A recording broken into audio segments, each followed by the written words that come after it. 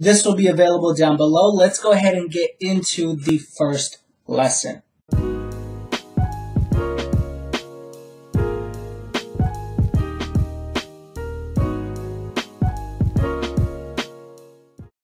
Lesson number one is acceptance. Now, acceptance is key when it comes to first getting or trying to get a diagnosis. I believe Dr. Kay Redfield Jamison, she had a psychiatrist diagnosed her. I believe it was when she first got into her graduate or doctoral program to become a clinical psychologist and she had her first severe manic depressed episode. Long story short, she did get very suicidal. She did start suffering from delusions and hallucinations, which is very common if you are undiagnosed bipolar and you don't have any medications to mellow you out. So, let's just say there's a period where she goes through intense amounts of psychosis and at one point tips the fuck over. There's a part of the story where it, it becomes a little obscure, so it's kind of hard to tell exactly what happened to her explicitly. It, it's almost as if there's a cliff and it just comes off.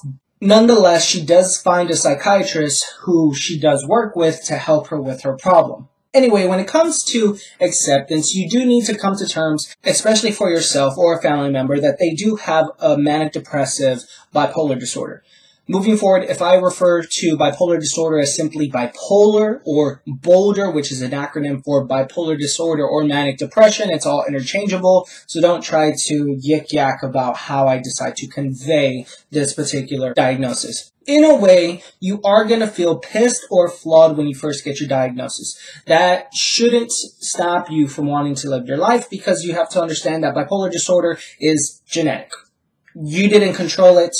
For Dr. Kay Redfield Jamison, it was her father who I believe went undiagnosed, had problems with alcohol. He had his moods of madness and depression. So again, it father to her, she got it because it was genetic. The first thing you should do is actually tell your close friends and family members because that's when you're going to be able to distinguish who are your real family members and who are your real friends. I remember when I got my diagnosis, the first thing I did was call my buddies who I had my first manic episode when I was in college. I was about 19, which is actually pretty common um, for the d- disorder and I was going through these delusions that they were plotting against me and all this stuff. They were very understanding. As a matter of fact, they were very in, encouraged to try and help me given that circumstance. Under the condition that you don't agree that you have bipolar disorder, the caveat to this is you may also have a comorbidity or coexisting diagnosis, which is borderline personality disorder.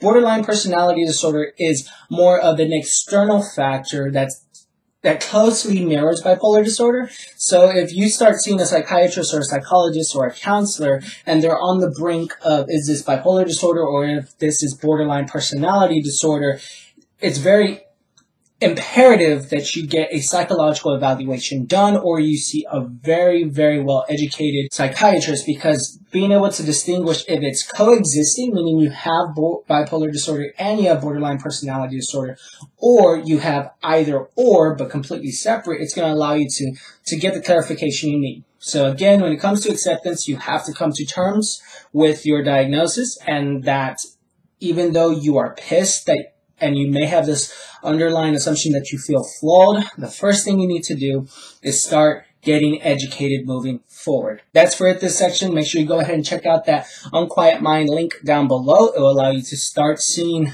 the person who is very well endowed into manic depressive because she's also made a medical textbook about this as well as she's being a patient and clinician.